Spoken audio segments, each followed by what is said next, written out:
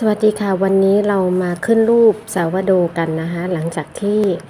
เราได้พักแป้งไป จะสังเกตว่าผิวของโดเนี่ยมีฟองอากาศนะคะเป็นปุดๆขึ้นมาแล้วก็ผิวด้านหน้าเนี่ยก็เป็นโค้งๆกลมๆเราก็จะเริ่มในการขึ้นรูป ถ้าทางที่ดีเนี่ยเวลาที่เราจะขึ้นรูปสาวโดเนี่ยควรจะที่จะรอให้เฟอร์เมนต์ให้ได้ที่ ซะก่อนนะคะ อันนี้แล้วแต่เทคนิคของแต่ละคน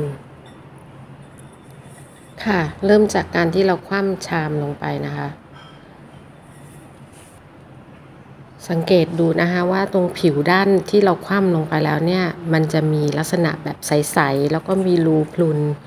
ที่เห็นได้ชัดเจน แล้วก็การที่เราจับ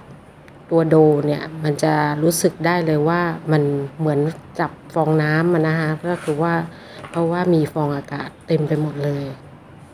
เราก็ค่อยๆม้วนเข้ามาสองข้างนะคะ พับเข้ามาตรงกลางสองข้าง แล้วก็ม้วนจากข้างบนลงมาข้างล่างนะคะการกระทำกับโดเนี่ยจำเป็นที่จะต้องทำด้วยความเบามือนะคะ เพราะว่าจะทำให้ไม่เราไม่ไปทำลายฟองอากาศที่อยู่ด้านในนะคะ แล้วก็หลังจากที่ม้วนลงมาแล้วก็เก็บหัวเก็บท้ายนะคะให้เรียบร้อย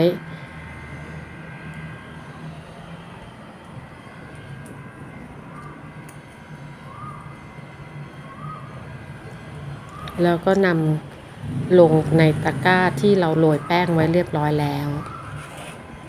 ก็สามารถเอาเข้าตู้เย็นได้เลยนะคะ เพราะว่าเราพลุกไว้เต็มที่ แต่ถ้าสมมุติสำหรับใครที่